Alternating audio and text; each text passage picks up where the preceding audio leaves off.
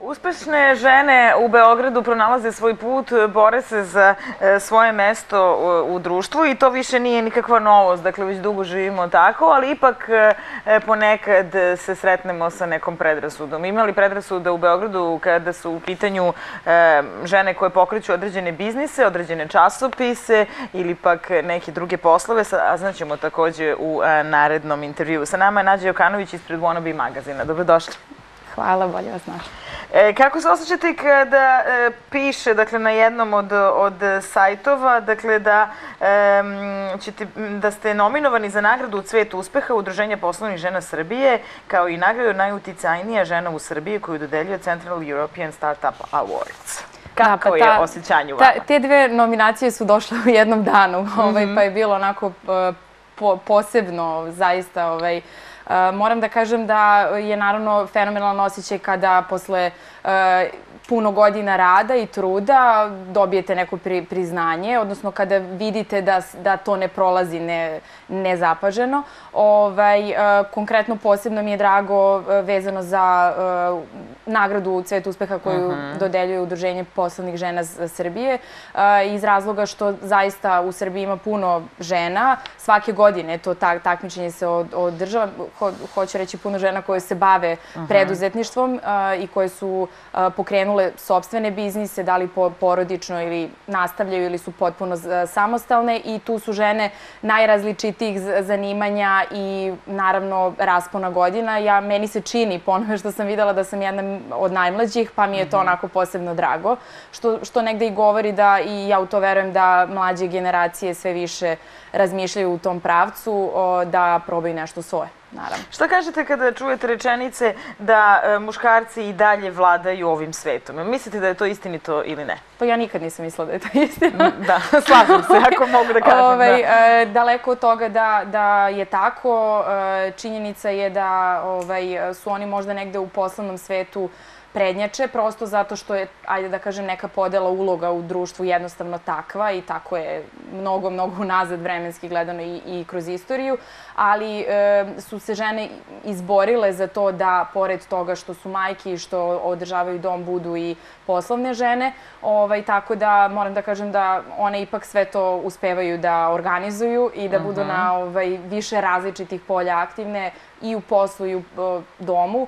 Ovaj, I ja definitivno se ne slažem s konstatacijom da oni ovaj, prednjače, a moram da kažem da mislim lično da je ženama i teže mnogo. Zbog jer čega? Moraju, pa a, teže je u smislu prosto kažem, te i tradicionalne podele uloga i svega, nekako uh mhm. -huh. ovaj, danas uh, uh, ona ima dvostruki posao. Mora da se dokaže da je ona zaista sposobna, ali ja mislim da u stvari naj, najveći problem leži, e, uslovno rečeno problem, leži u samim ženama, pošto nisam sigurna da one uvek veruju da one to mogu. Uh mhm, -huh, I od trenutka uh mhm. -huh. kada one sebe ubede da su te stvari moguće i da uh, one treba to da rade i da treba da se oslone na sebe pre svega, kao što inače i rade, samo što nisu toga nekako svesne, ovaj, uh, u tom trenutku će se stvari izmeniti. Kako ste se vi osjećali kada ste započeli Wannabe magazin, odnosno koliko ste verovali u sebe i to što činite? Pa ja moram da kažem da sam ja u tu priču ušla prvenstveno da bi podržala uh, svoju partnerku sada u poslu i najbolju prijateljicu Ninu Milović, čija je to mm -hmm. bila i ideja. Uh, ja sam inače farmaceut, tako da sam radila u farmaceutskoj industriji i u nekom trenutku kada sam shvatila da zapravo ne mogu, nije moguće da obe stvari radim podjednako kvalitetno, mhm. odlučila sam se da napustim ono što bi rekli stalan posao, siguran aha, posao aha, i da ovaj, se upustim u preduzetničke vode.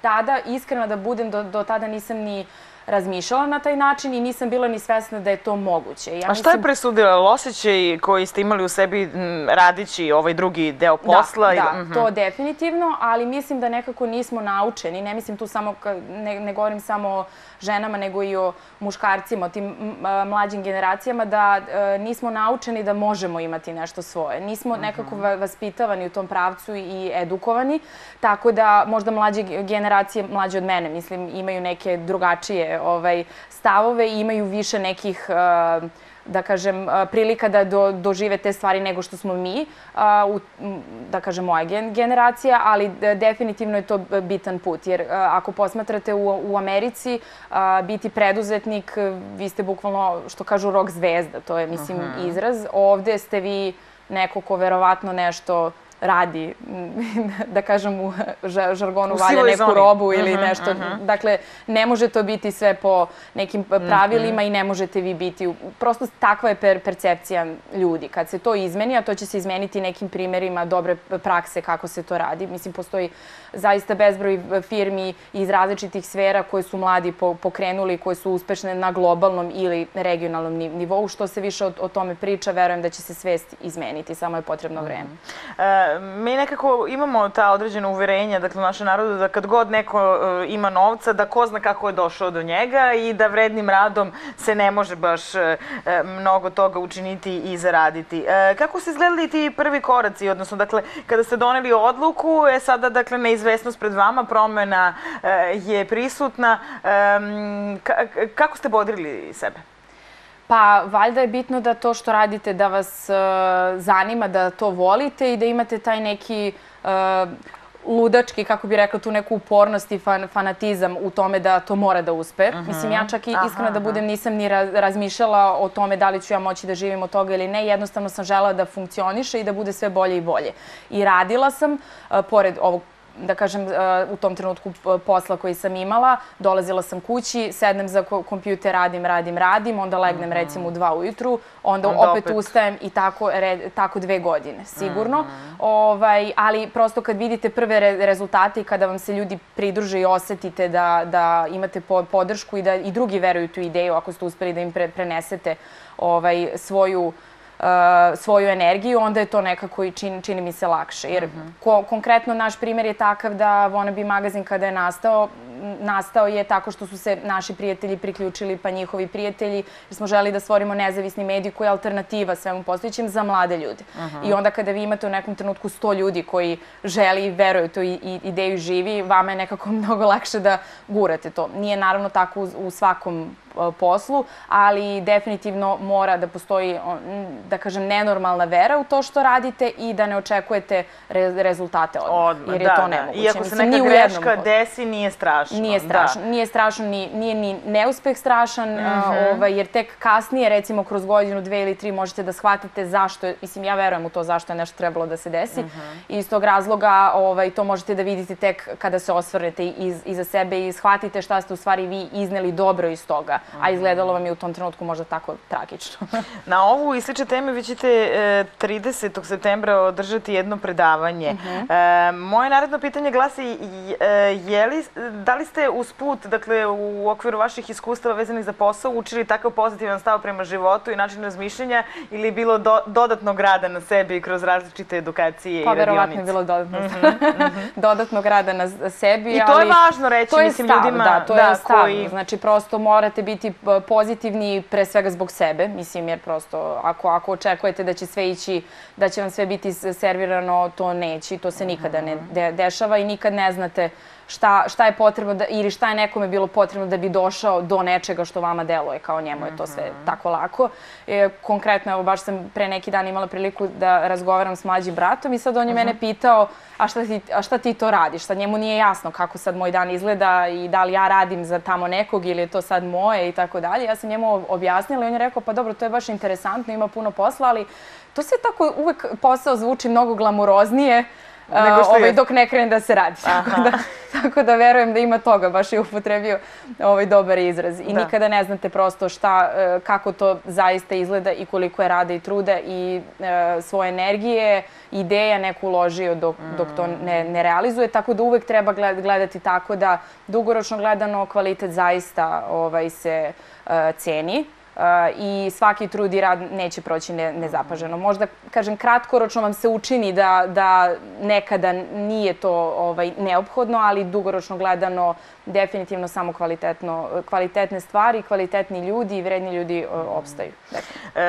verujem da se krećete u e, krugu ljudi koji takođe pozitivno i konstruktivno razmišljaju, a kada se susretnete sa nekim drugim delom ovog društva, čini li vam se da se malo čin, da se prave ti pozitivni koraci, odnosno da smo smo počeli nekako da gledamo u pravcu reša, rešenja, a ne kukanja. Ne problema, da. Da, da, ili problema. Da, da, pa to je, to je, ja mislim, ovaj, generalno nama u mentalitetu suprotno od toga. To jest i sad će biti verovatno potrebno mnogo vremena da se to izmeni i da ljudi krenu da jednostavno gledaju stvari pozitivno i da nalaze re, rešenje. Jer rešenje uvek postoji. Znači, mm. zaista to mogu da, da kažem i sa, sa hiljadu nekih izazova smo se susrele, ni na ja tokom ovih pet godina, ali uvek možete naći re, rešenje. Samo je bitno da razmišljate u tom pravcu. Čak se dešava da vam se ono nekako samo ovaj, nametne. Pojavi, da, Samo da, je bitno, da. bukvalno, i ja stvarno u to verujem kada razmišljate u tom pravcu, verujem da se određene stvari same iskristališu. Ako vam nešto treba, neko će vam se javiti ako mm. mislite o, o tome. I to se zaista zvuči smešno, ali